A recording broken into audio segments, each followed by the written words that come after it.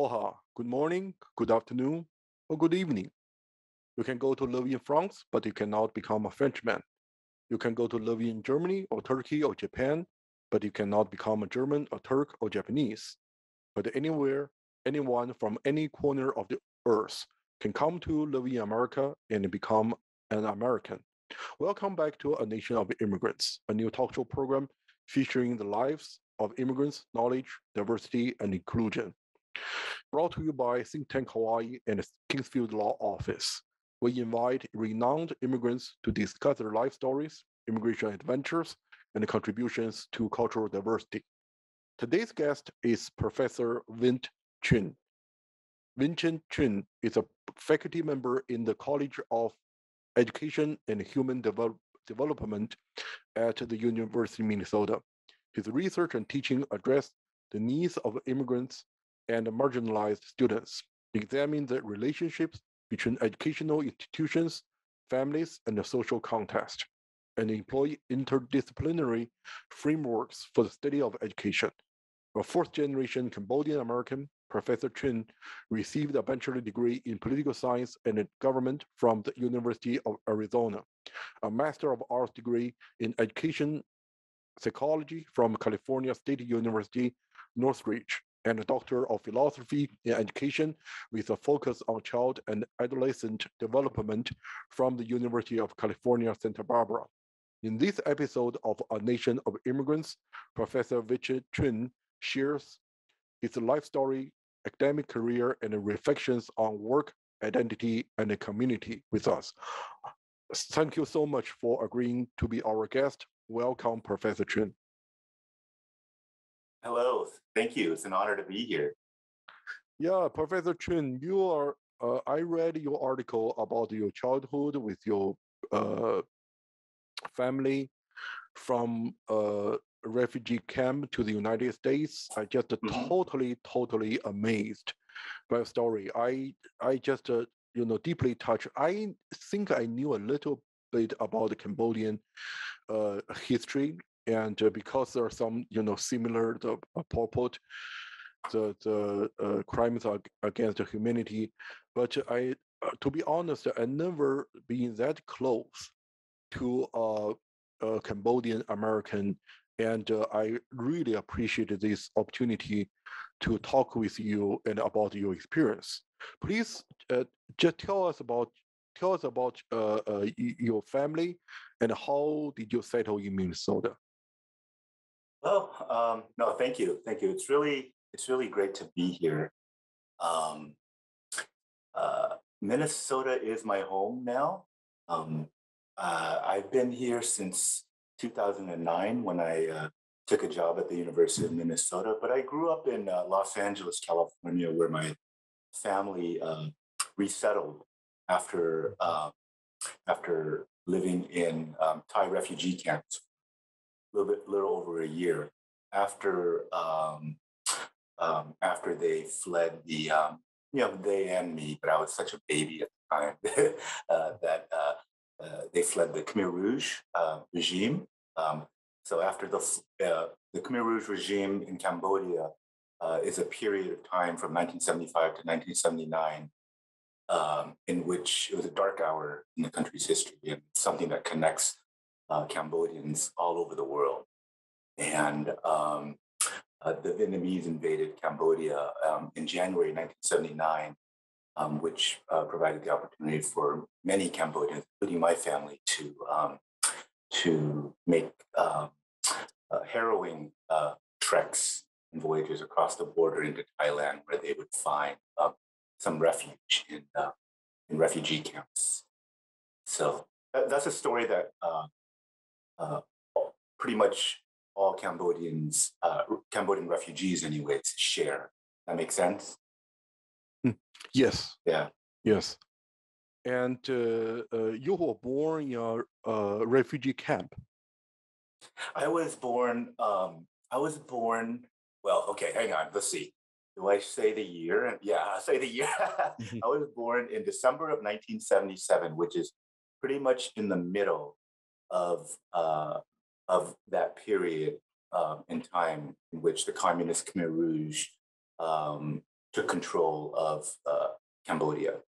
And so I was born in um, Khmer Rouge communist labor camp.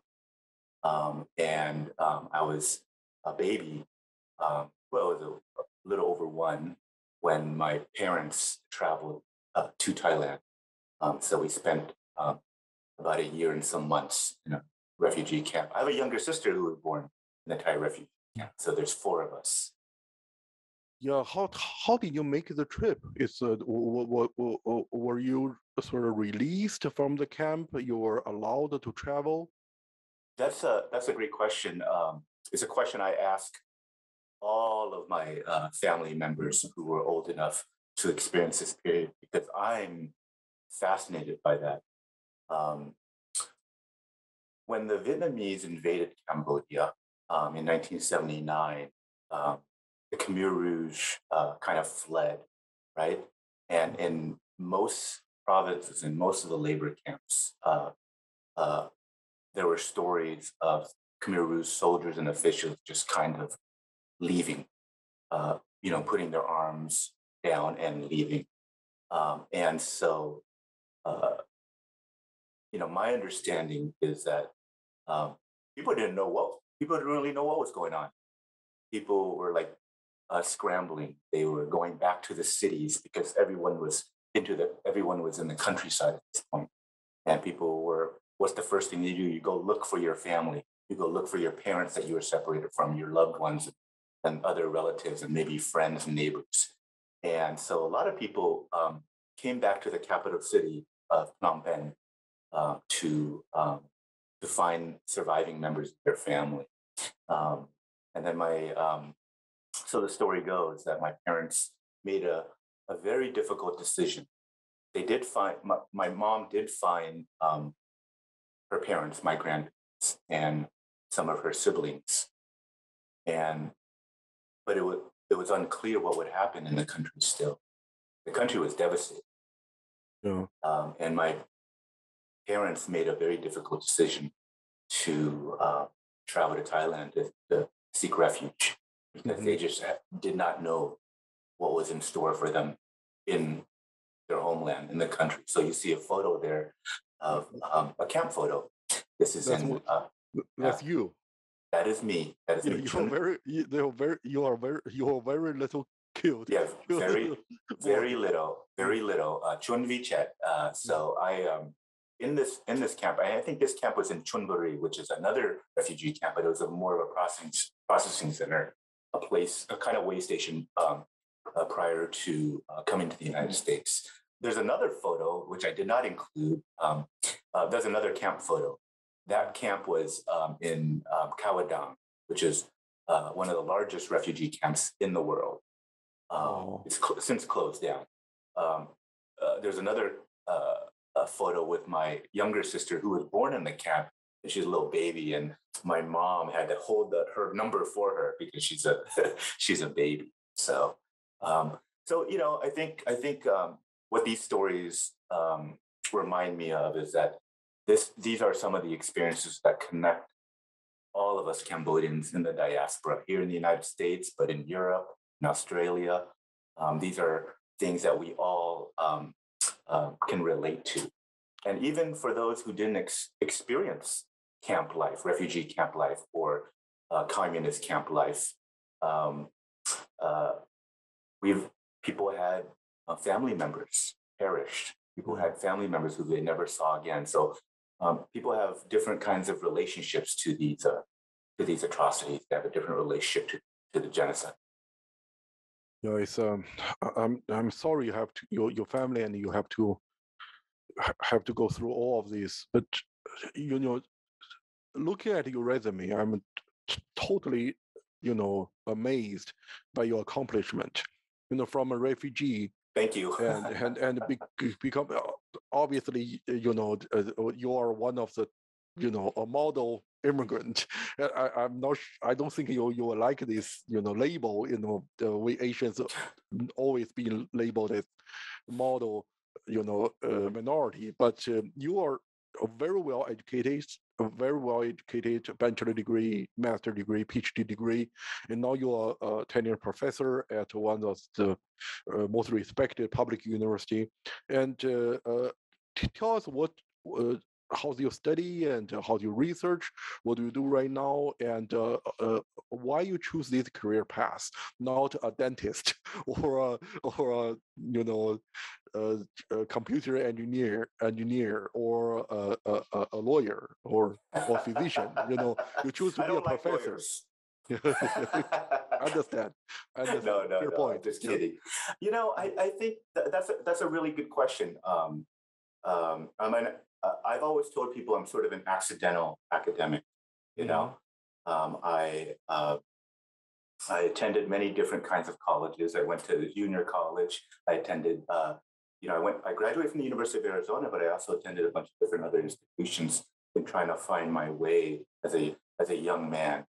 Um, I I always I don't want people to sort of take my journey, and my journey is still unfolding, right? Um, I don't want people to take my journey as some kind of like progress narrative necessarily. I think, um, I think, you know, so we've heard about like the model minority, right? Asian yep. Americans, and in some ways, uh, uh, I typify that, right? I, I, represent that for a lot of people, um, but I also would caution against that, you know, um, uh, in the sense that I, I think I got really lucky, you know, Mr. Wang. I think I got very lucky life. And I think I met uh, some people who cared about, and I think I uh, I found some good relationships.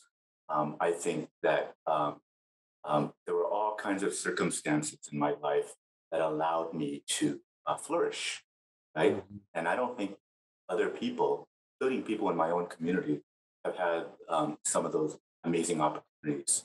Mm-hmm. Um, because I have no doubt that uh, people uh, would do amazing things given uh, the right opportunities. Mm-hmm. Right. So, so I take that as a compliment. I take that very much as a compliment. I appreciate it very much. But at the same time, I, I, I'm, I'm always careful because um, uh, um, I, I want to trouble a little bit. I want to poke holes in the idea of mm-hmm. meritocracy because I I I had my troubles. I had my fair troubles along the way, you know, uh, in schools, out of schools. You know, I'm growing up in an immigrant home, a refugee home with with refugee parents who were just doing the best they can, you know, and growing up, um, growing up, I don't I don't think people uh, would have said, "Wow, that is a, a wonderful Asian American family." Right? Mm-hmm. You know, we were we were we were often looked at as kind of like uh, the sort of dr- drags of society, right? The burdens uh, in communities. Um, we were not the model minority, right? You know, so I think that's the term. I think that's a term that you know I write about, um, and it, it's a term that I um, live in, and it's a term that I hope to like challenge anytime I can. Precisely. You know I mean? Yes. Yeah.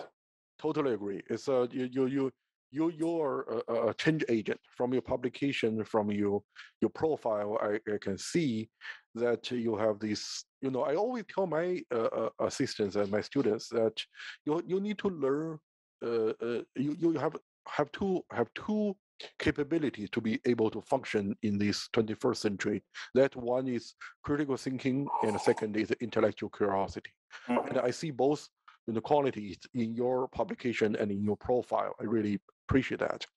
And, and you're, you're from your family is from Cambodia, and I understand Cambodia, like 95% of Cambodians are Buddhist. And uh, I, I just uh, want to ask you, because I came to the United States 22 years ago, and I was I totally agree with you about your uh, fortune. Uh, I I'm I think that both you and I are blessed, even we came here through different paths, different way, but we are uh, both of us are blessed about uh, being able to settle down and become part of this American experiment. Uh, how important uh, spiritual uh, support uh, 95% of Cambodian uh, families are uh, partition partition Buddhist, how important the spiritual religious uh, religion is played a role in your community.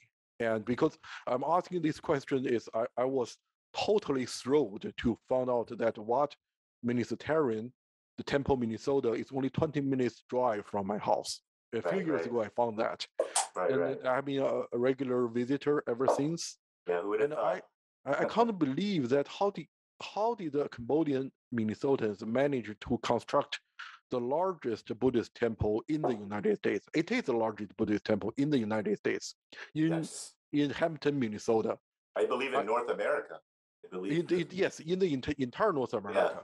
It, yeah. I, I never get a chance to, you know, I, I, I go there regularly, I donate, I pray, and I never get a chance. I, I look at all the information I get from the Facebook page, from other information, but I, I'm thrilled to have this opportunity to, to ask you, you know, what you know about this temple? What's the story behind this temple? How come you Cambodian uh, Minnesota get decided we're going to build the largest Buddhist Buddhist temple in North America in Minnesota? Well, Mr. Wang, I, I, I, wish I could say I was part of that decision-making process, but I was not.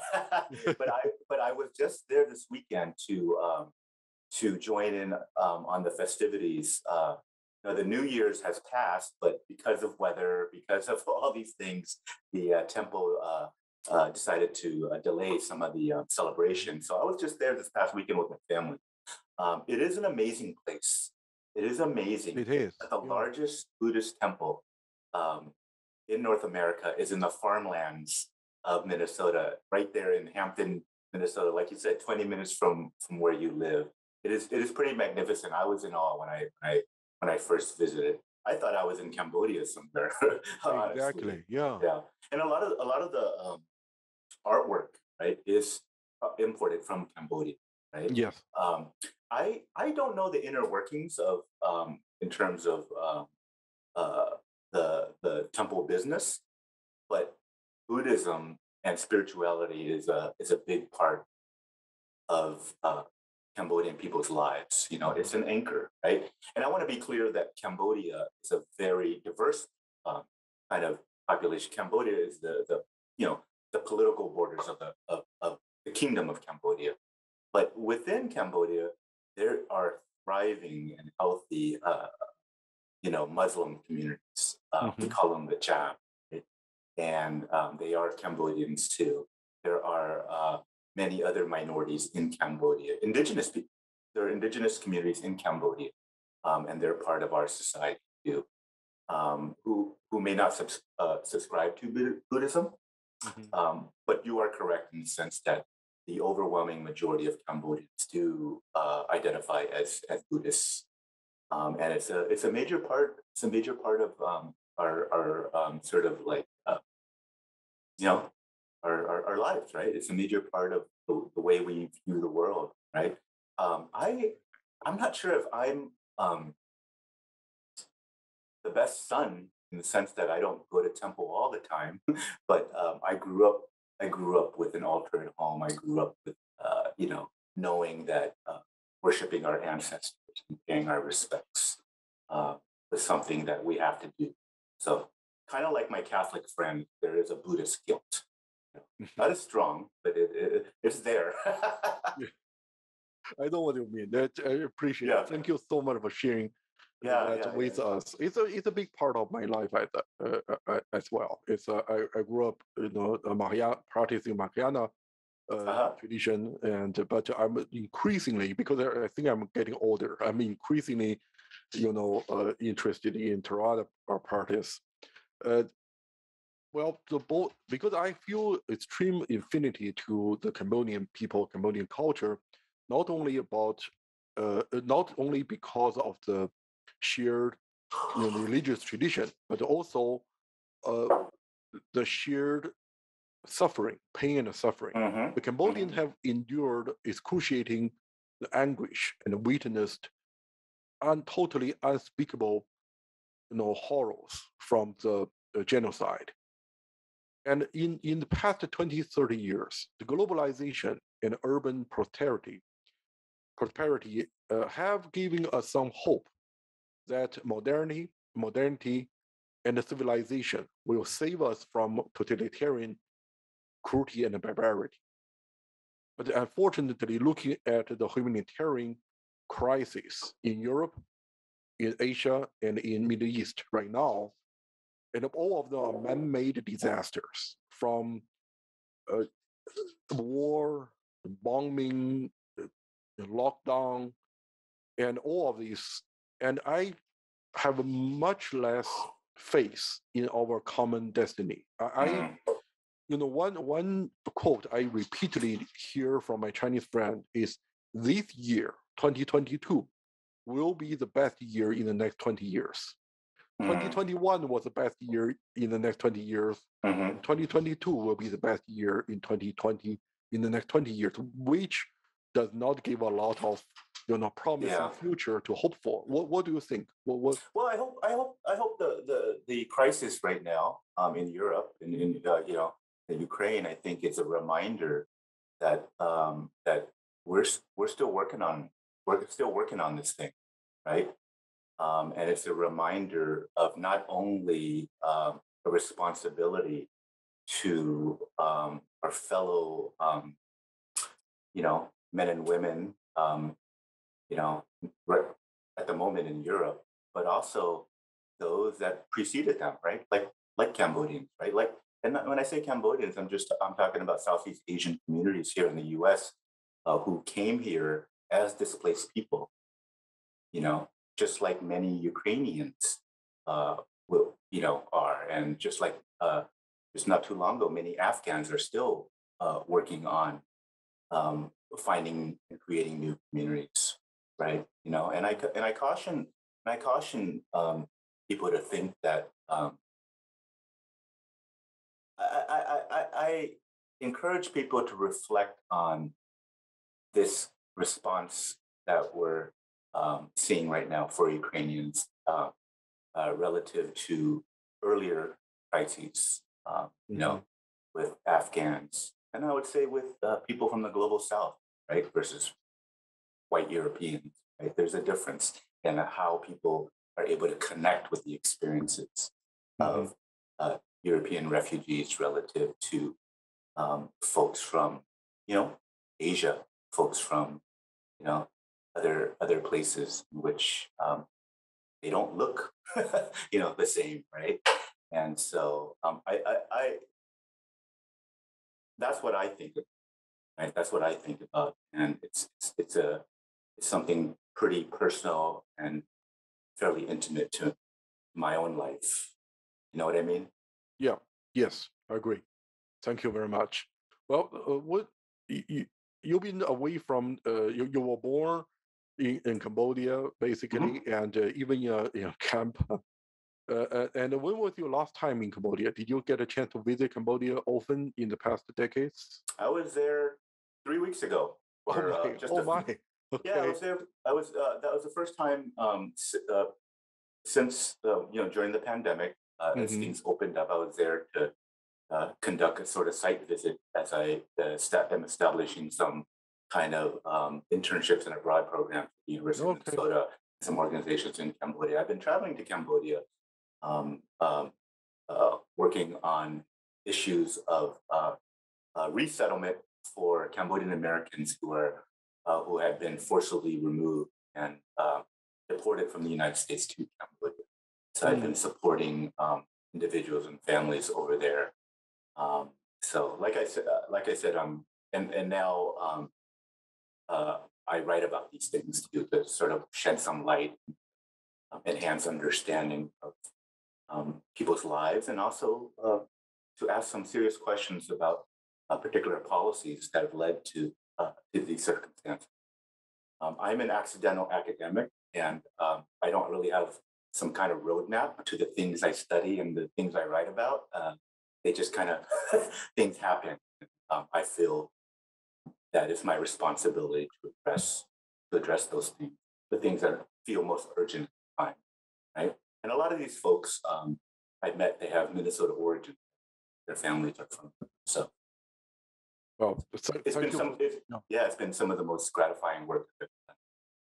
Yeah, thank you for doing that. You you definitely make a difference to a lot of people's lives, and uh, I'm glad you have an opportunity to travel. You know, back to Cambodia. Back to the homeland.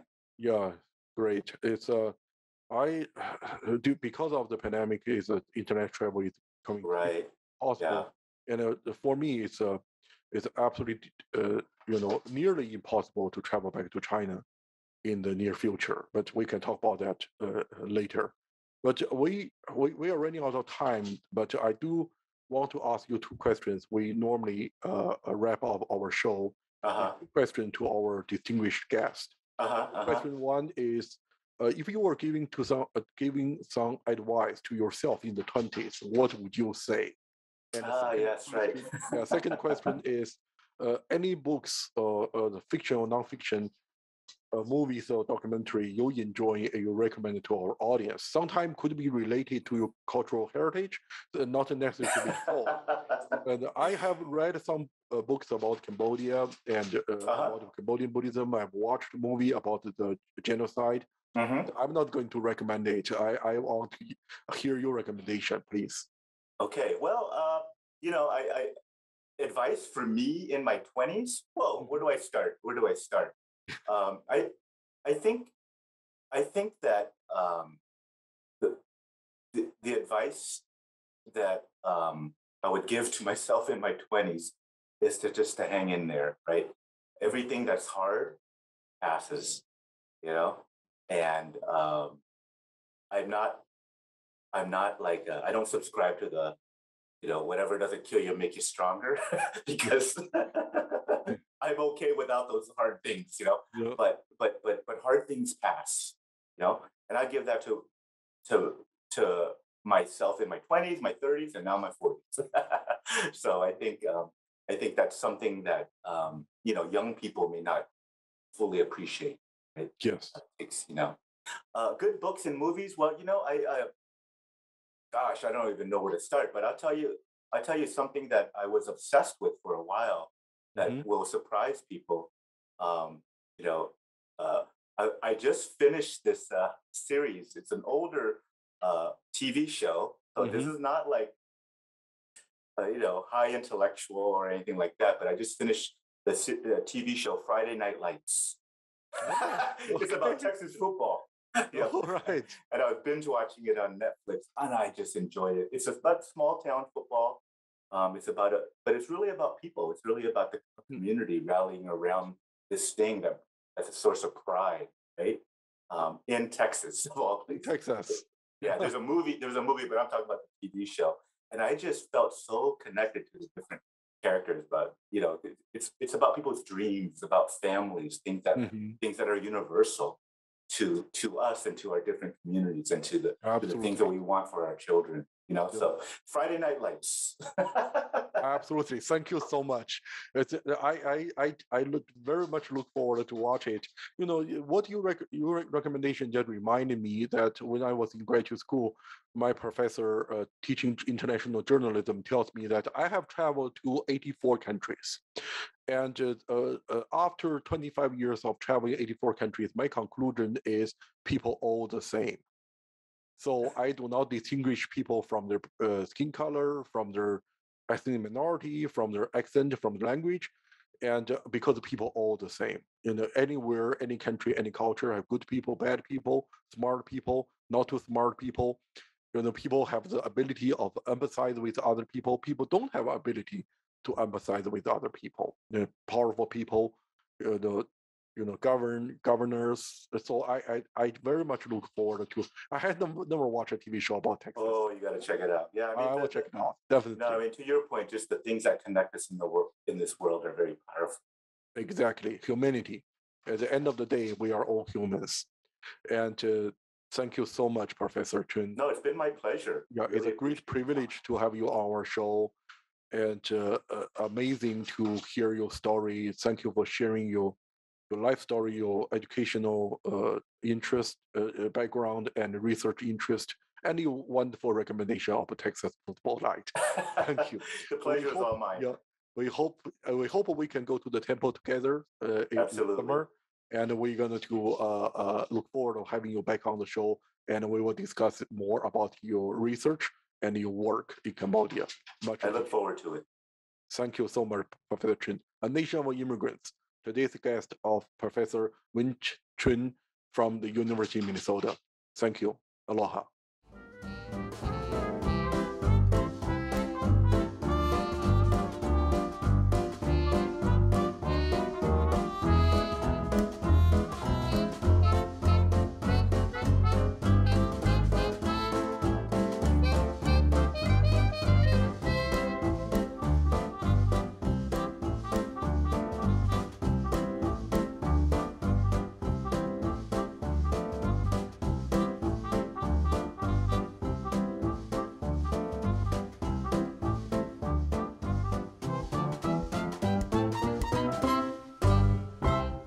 Thank you so much for watching ThinkTech Hawaii. If you like what we do, please like us and click the subscribe button on YouTube and the follow button on Vimeo. You can also follow us on Facebook, Instagram, Twitter, and LinkedIn, and donate to us at thinktechhawaii.com. Mahalo.